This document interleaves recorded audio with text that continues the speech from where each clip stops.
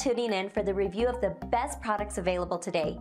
These models were chosen from a large variety of products based on their overall performance and review of thousands of consumers that have purchased them through countless hours of research, side-by-side -side comparisons. It's believed that the following products are indeed the best on the market today. Please take a moment to follow the product links listed below to each product for more information. Sit back and relax while you watch the best highly recommended products for this year. My name is Mike Cottrell. I'm a product design engineer for Frankford Arsenal. I'd like to show you one of the new products we're really excited about today. It's the Frankford Arsenal Case Trim and Prep Center.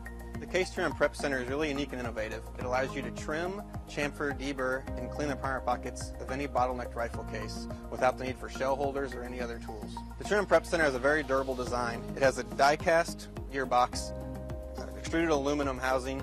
It's got a stamped steel adjustable stand here that can be moved out of the way.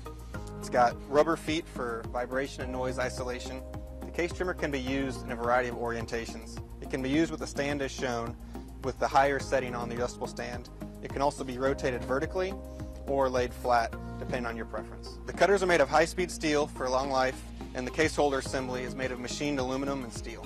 Trimming a case with the case trimmer is fast and easy. Simply flip it on here, insert the case in the front like this, chamfer, deburr, and then flip the case around to clean the primer pocket. On top of the case trimmer is a storage box for the extra tools, bushings, and collets.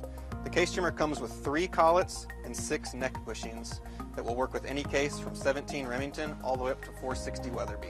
You just pick the appropriate neck bushing for your case and install it on the neck like that until it stops on the shoulder.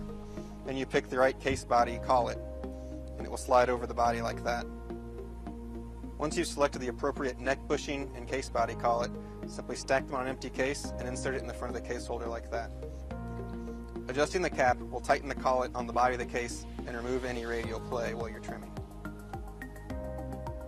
With the collet adjusted, you can adjust the trim length by loosening the lock nut and screwing the entire case holder in until the case mouth just touches the cutter.